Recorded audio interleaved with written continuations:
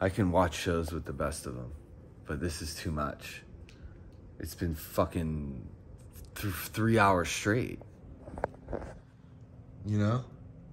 I went to see Avatar. That All right, well, let's just take a little break and talk about the shows that we've watched, that we've enjoyed.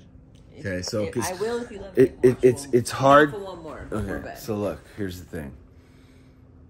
It's hard to find shows that you and your person will like. So, The Wilds, she really liked.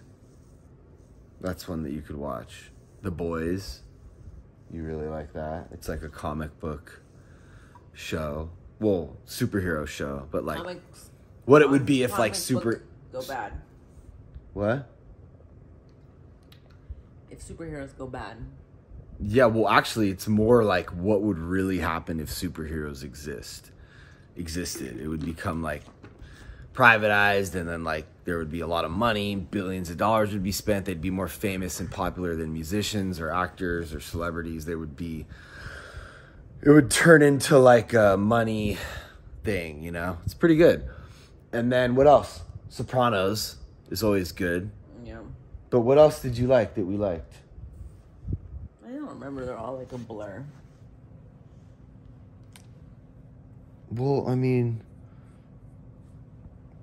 Obviously, everyone liked White Lotus, Ted Lasso. Great. White Lotus. Great. That's the best one to see with a girl or if you're a girl, a guy or your partner cuz like not everything like I really liked Echo 3, you know, but that's not it's like action, you know.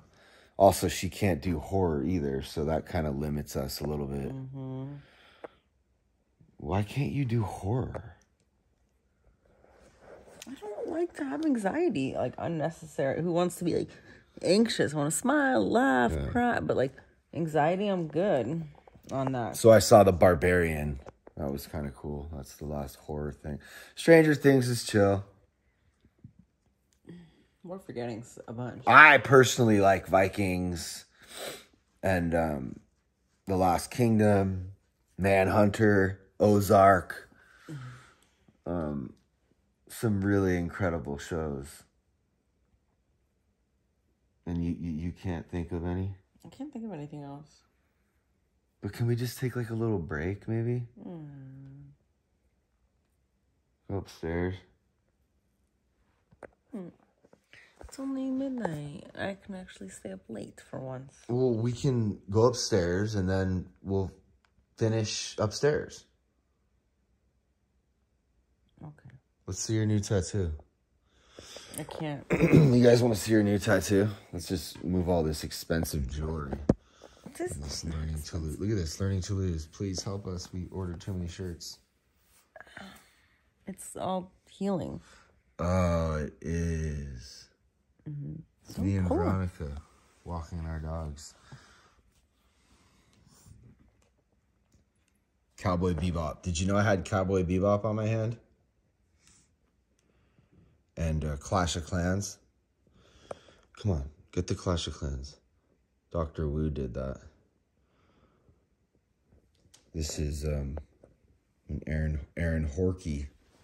No, I saw Jason Stores at Airline the other day. Oh.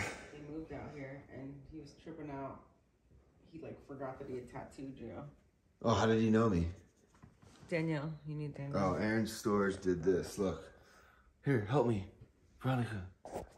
Store, Jason Store. Jason did this. It's from this tree with this scary guy in the moon. It's from um, Scary Stories. You remember those books? And this is Robert De Niro from Taxi Driver, obviously. But it's a pretty good one. Pretty detailed.